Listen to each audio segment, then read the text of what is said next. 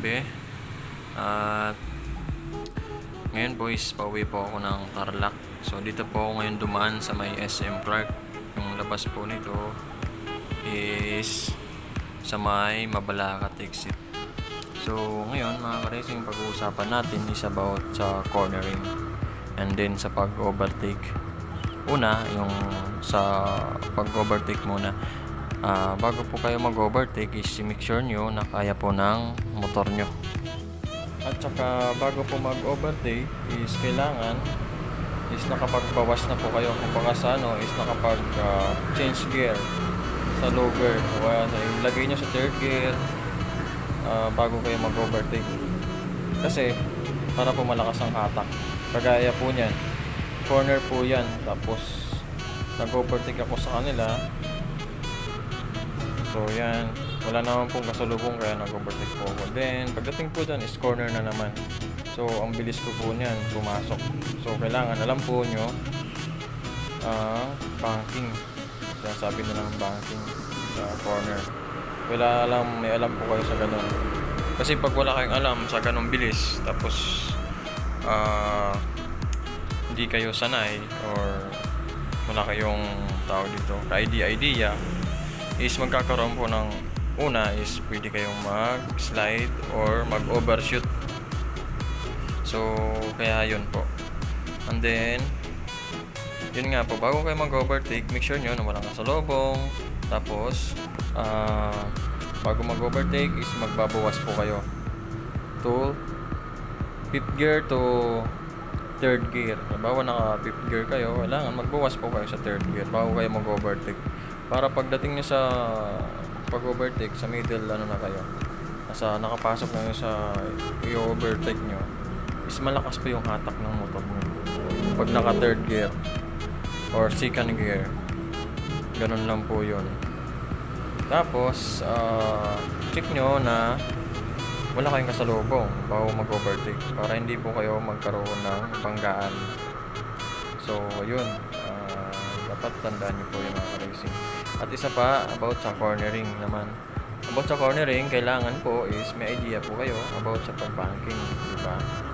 Kasi nga, pag hindi nyo alam paano or paano may, ano po yung mga basic gaya po ng ano uh, throttle control braking control at yung isa po is yung eyesight kailangan alam niyo po yun at saka kayo kung ano uh, pag change gear kung saan kayo dapat mag change gear o kailan kayo dapat mag change gear pagdating sa corner. Para pagpasok po sa corner is smooth na smooth mo yung pasok nyo nandyan na po yung throttle control uh, body position tsaka yung eyesight. Kailangan po alam niyo po yun. Para po ano uh, maiwasan ang pag overshoot tsaka uh, pagdating po sa corner kailangan uh, alam nyo po yung saan kayo papasok. Yung sinasabi po nilang ano entry at saka exit sa corner. Dapat alam po natin yon kasi nga pag hindi po natin alam yon eh yun dun nga po nagkakaroon ng pag overshot o kaya magkaroon ng banggaan. Kaya dapat po alamin natin yun. At ito po ay mayroon po akong uh, share sa inyong video about sa uh, konting tips pagdating sa corner. So sana po ay magkaroon po kayo ng idea or matutunan sa isi-share kong ito. Dahil ito po ay makakatulong sa ating sa ating lahat na mga riders. So ride safe all mga ka-racing. Enjoy watching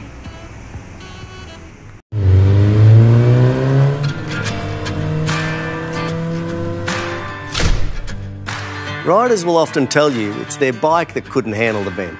The truth is, most crashes that happen in corners happen because the rider couldn't handle the bend. So, what can you do to make sure you nail it? And how can your sixth sense help you stay in control?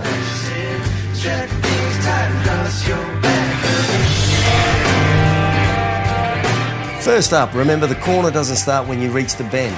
It starts before you arrive. So make sure you've got your approach speed right. You should always aim to get your braking done before you enter the corner, never in it. Shed speed on the approach and wind it back on as you exit.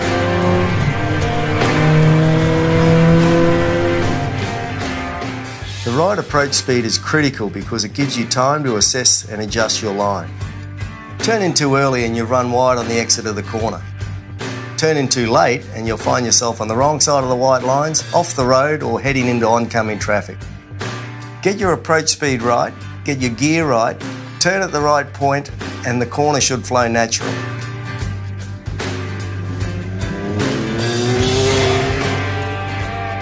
Next, what sort of corner are you heading into? Is it a blind corner? Is it off camber? Is it going to tighten up on you? Or open out and let you get the power down early?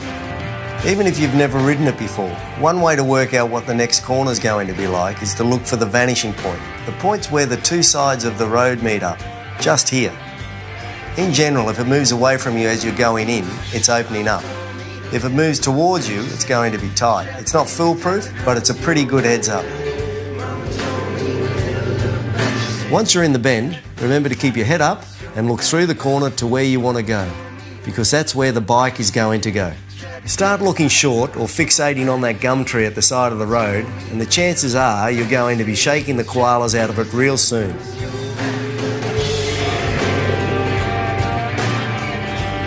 And try and stay off the brakes as much as you can. It sounds wrong, but if you've got your turning in point and your approach speed right, you'll be in control and the bike should handle the corners no worries, leaving you free to focus on making a smooth exit.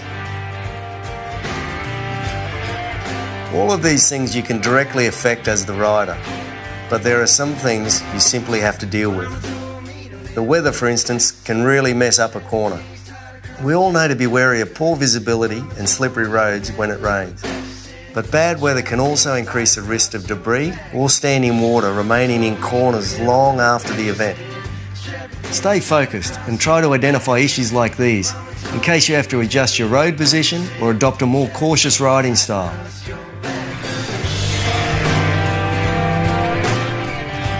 And then there's camber. Generally, a corner with positive camber is a good thing. When a corner is higher on the outside and lower on the inside, it means you can lean in less.